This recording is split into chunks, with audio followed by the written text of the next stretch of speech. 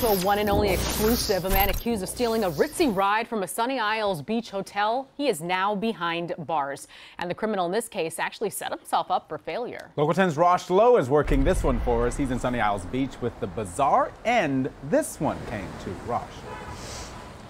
I haven't seen anything quite like this, where a suspect would actually take a taxi cab back to the scene of the alleged crime.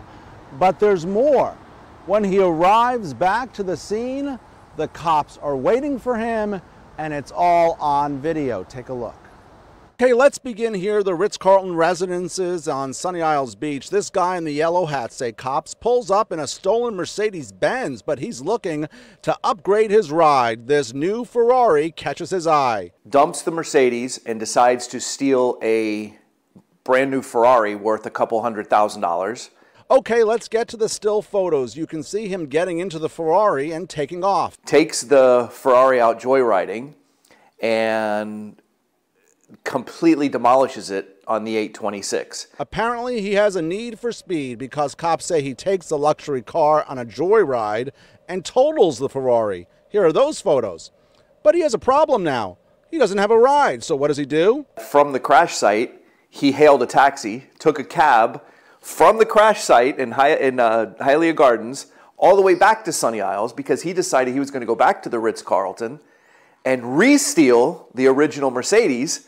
But there's a problem. Sunny Isles Beach police are there taking a report on the stolen Ferrari. So what's he going to do? Let's get to this video.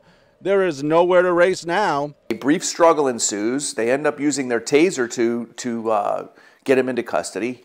His name is Tyler Thiem, and he's behind bars. And what was he thinking? For one, I'm wondering if he had a mind.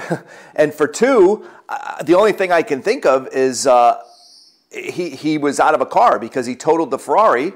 So he figured, well, hey, I still have that stolen Mercedes. Maybe nobody noticed. Maybe nobody, maybe nobody noticed me stealing the couple hundred thousand dollar Ferrari out of the valet. Oh boy, they did notice though. You saw that in the video when he came back to the Ritz, the cops were waiting, and this was actually a difficult arrest. He got into that stolen Mercedes, and cops believe he was trying to take off, but they got him into custody. And they also believe that this guy may be behind other high end thefts, but what makes this case very unique and strange is that he took a cab back to the scene of the alleged crime where he was caught. More for you tonight at 6 o'clock. For now, I'm live in Sunny Isles Beach. Rosh Lowe, Local 10 News.